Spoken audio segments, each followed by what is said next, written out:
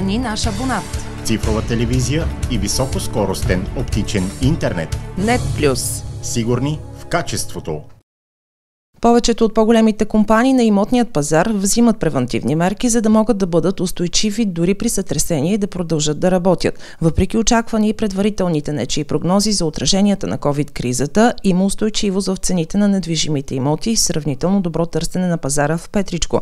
Това е наблюдението на Симеон Шайков, който оглавява Агенция за недвижими имоти. Рязка промяна в цените няма нито на новото строителство, нито на вторичния пазар, посочи Шайков.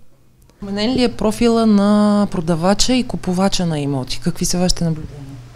Ами, има лека промяна на, а, в профила на, и на купувачите, и на продавачите.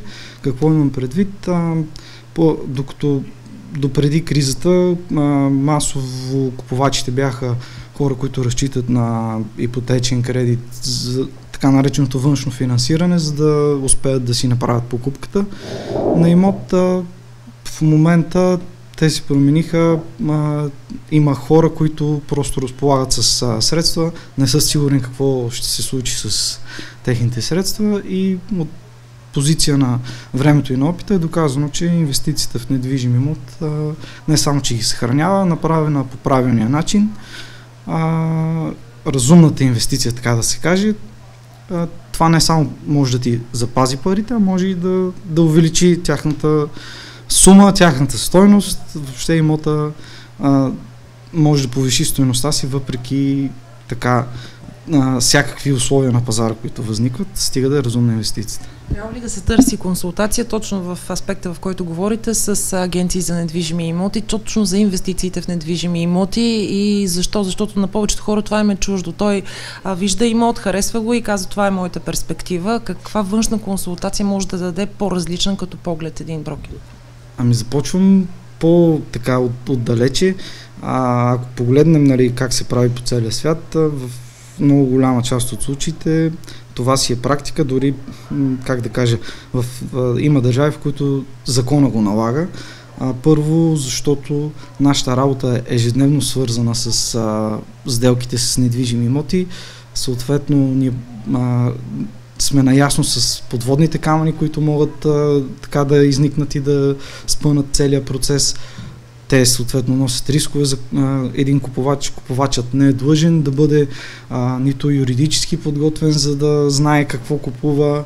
А, това е нашата професия, реално ние с това се занимаваме. Аз винаги и това съм давал като пример, че а, ние имаме времето и на нас това ни е работата да се грижим да осигурим този комфорт и тази безопасност на сключване на сделката, съответно договаряне на по-добри условия, което хората не са длъжни да, да имат тази квалификация, когато купуват. Затова съответно е добре да, да ползват а, услугите на агенция за недвижими имоти. Има ли топ райони, които са предпочитани от купувачите за недвижими имоти тук локално в Петришка община? Какви са ви наблюдения? Естествено, че има. Ако говорим за а, имоти в града, разделителната линия е улица Рокфелер и както в Петрич казваме нагоре от а, Рокфелер, фактически на юг, в посока планина Беласица.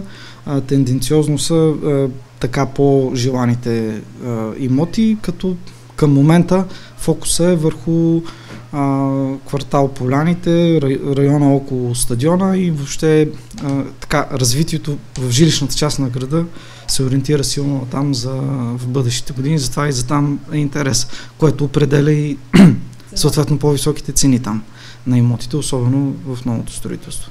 Симеон Шайков допълни, че продължава тенденцията от преди повече от година за нарастване на интереса към имоти в селата. Най-търсени за инвестиция в недвижим имот остават подгорските села, но се заражда и погледът към имоти и в останалите села на територията на община Петрич.